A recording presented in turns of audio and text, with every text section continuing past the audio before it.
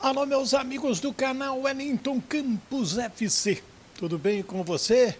Pois é, estamos na quarta-feira, hoje, dia 23 de outubro. E amanhã tem Vasco e Cuiabá em São Januário. Vamos trazer a possibilidade de time do Vasco da Gama. Vamos falar sobre o treinamento de hoje. Vamos falar também sobre Jair, que será relacionado jogador que está parado há nove meses, como que ele está. E também a situação do Cuiabá, né? Vamos trazer tudo isso aqui para você. Antes, aquele pedido tradicional para você se inscrever no nosso canal Wellington Campos FC, se ainda não é inscrito, dá uma olhadinha aqui embaixo, está vermelho, clica aí, dá o joinha, me dá aquela força, porque é super importante para o YouTube entender que você gosta do nosso conteúdo. Então, o joinha, o YouTube entende que você gosta daquilo que a gente está sempre fazendo por aqui. Fazemos com muito amor, com muito carinho, com muito respeito a você, meu amigo, minha amiga. E tem aqueles abraços também, tá? Muito obrigado pelo carinho de todos. A gente volta. Roda a vinheta.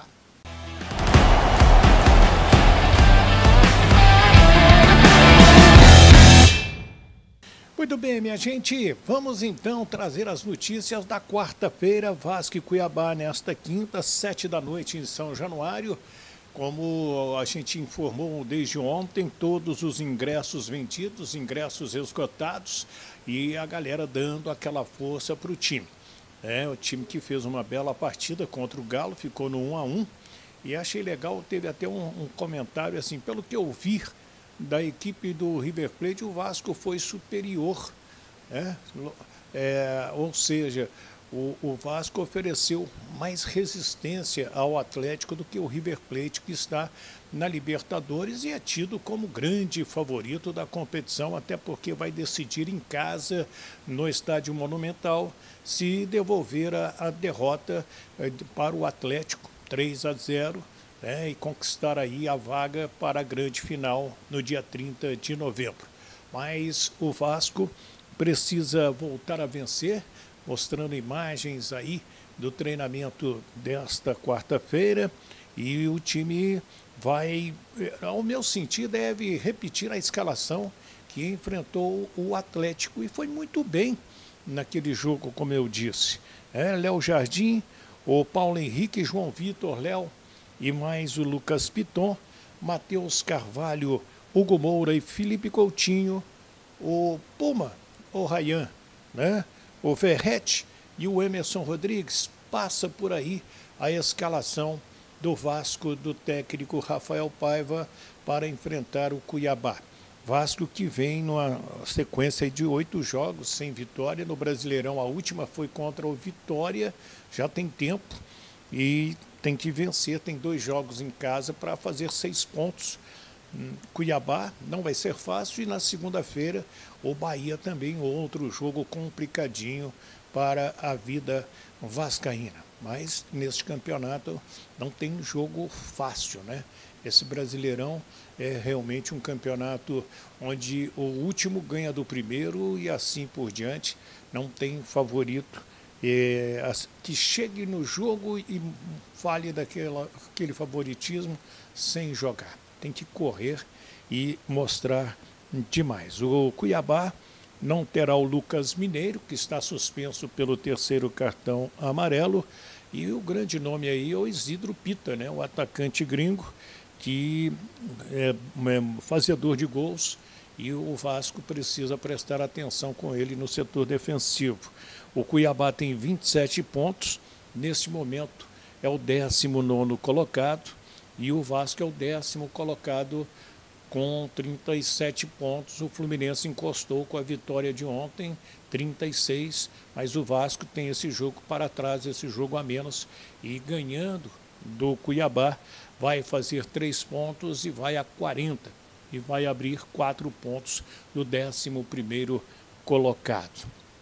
O Jair será relacionado nove meses depois, após aquela cirurgia para consertar uma ruptura de ligamento cruzado do joelho esquerdo, tanto ele quanto o Paulinho, mas ele está é, tá, tá sendo liberado antes, voltou a treinar no mês passado, se não me engano, dia 19 de setembro, vem trabalhando firme, até viajou com o Vasco para Belo Horizonte, né? Para ficar treinando e tudo, não foi relacionado, mas agora ele será relacionado e que bom. Nove meses depois, o Jair, que estava sendo muito importante para o Vasco, como também o Paulinho, que ainda não voltou, e não deixa de ser um reforço para este meio-campo aí, né, que no momento está sendo formado pelo Matheus Carvalho, Hugo Moura e o Felipe Coutinho. Outra questão que a gente quer trazer é sobre o Conselho da SAF, Conselho Fiscal da SAF, é, escolhido pela 777.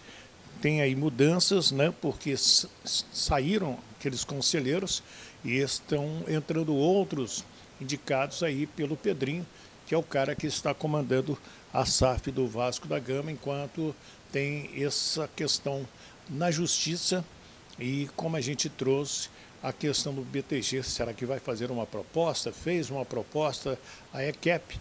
Conversei com um dos vice-presidentes do Vasco da Gama e ele me disse que desconhecia esse assunto né, não, não, tinha tomado conhecimento oficialmente, a não ser pela imprensa, desta questão. É, aliás, quem trouxe essa notícia da troca do Conselho Fiscal foi meu amigo Gilmar Ferreira, qual eu mando um forte abraço para ele também. E você? Quero que comente aí o que, que achou. Né? Tá esperando o que do Vasco contra o Cuiabá? A gente precisa ter aí uma boa vitória nesta quinta-feira.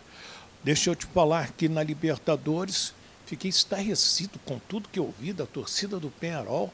É uma torcida, o povo uruguaio é um povo tão ordeiro, tão legal, e mais de 200 torcedores foram presos. É, incendiaram motos, ônibus, carros, quebraram quiosques, agrediram banhistas.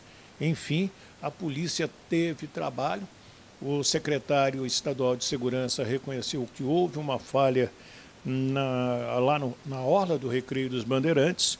A polícia demorou a chegar devido ao trânsito e temos então mais de 250 torcedores detidos. Esses que sobraram né, chegaram normalmente no estádio Newton Santos para acompanhar o jogo Botafogo e Penharol. E no Sub-17, Fluminense e Palmeiras vão decidir o Brasileirão.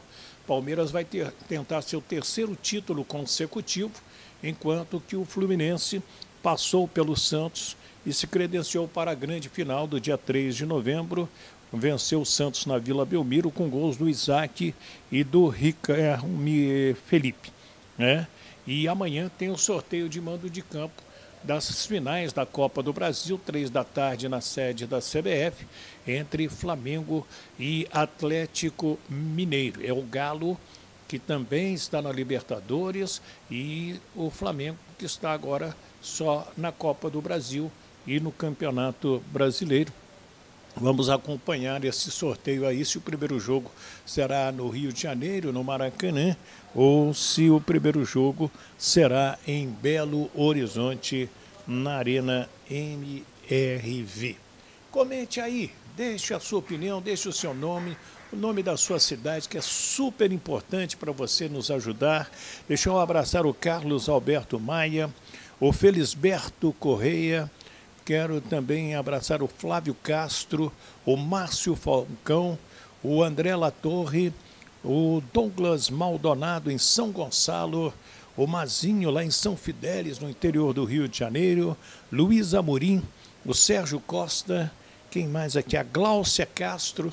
Quero abraçar o Josias na Vila Sapucaia, né? Também recebendo o nosso abraço, o Manuel Alves, o Carlos Antunes em Itapipoca. Sabe onde fica Itapipoca? Fica no Ceará. E também quero abraçar a minha amiga Maria Helena Guimarães.